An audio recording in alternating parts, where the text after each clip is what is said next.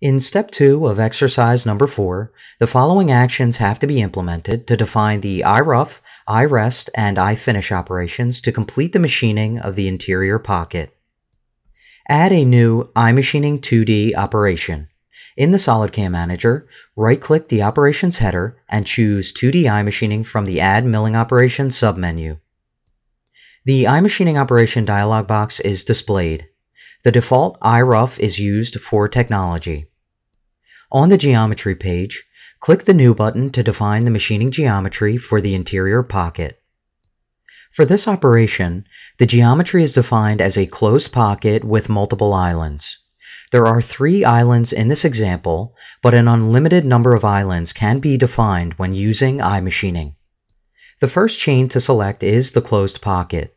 Then, select the internal chains on island contours. Note that the chain selection order is important. In the SOLIDWORKS graphics area, pick on the bottom edge of the pocket contour as shown.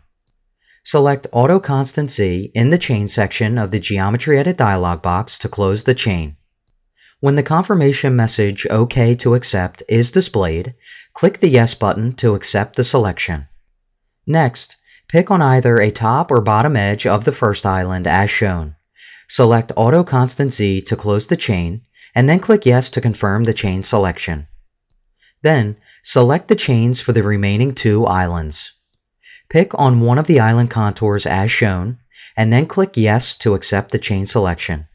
Pick on the last island contour as shown, and then click Yes to accept the chain selection. The geometry is defined.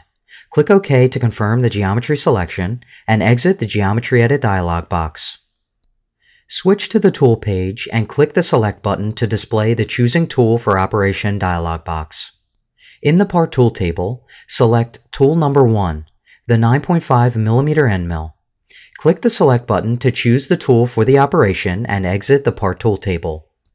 Switch to the Levels page to define the milling levels. Click the Upper Level button. In the SOLIDWORKS graphics area, select the top edge of the target model as shown, and then click OK to confirm the selection. Next, click the Pocket Depth button and select the bottom face of the interior pocket to define the machining depth. Click OK to confirm the selection and display the iMachining Operation dialog box. Switch to the Technology Wizard page to view the cutting conditions. The wizard automatically calculated one step down to achieve the total depth with an ACP value of 2.5.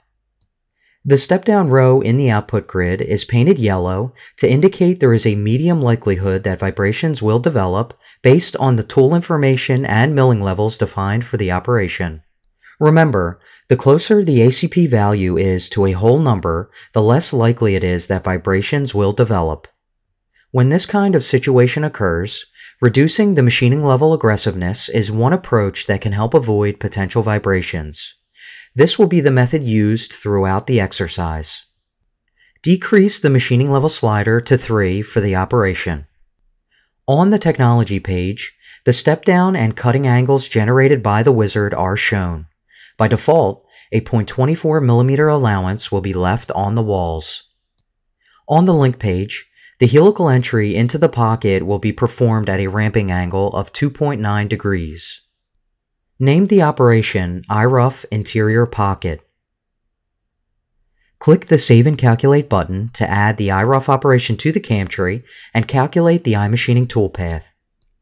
Click the Simulate button to display the simulation control panel. Using the default HostCAD simulation mode, click the Play button to show the wireframe toolpath on the model. The pocket is split into two areas, both containing a helical entry followed by the pocket roughing toolpath.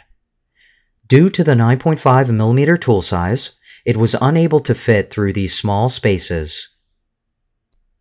Close the Simulation Control Panel with the Exit button to display the iMachining Operation dialog box. At this stage, the rough machining of the interior pocket is defined.